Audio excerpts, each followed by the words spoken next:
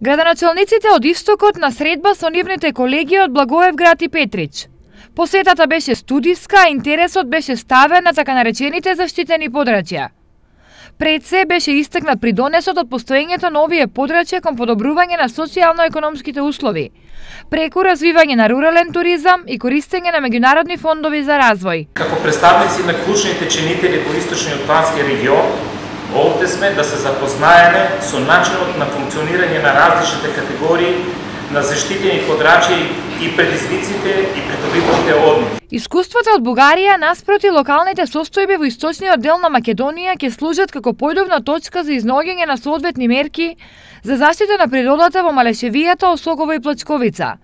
Региони кои изобилуваат со биолошка разновидност и природни вредности, а за сега немаат формална заштита. Една од клучните цели на програмата за зачувување на природата е подобрување на состојбата со природните вредности во сливот на реката Брегалница и промоција на нивно одржливо користење и управување преку воспоставување заштитени подрачја и други активности.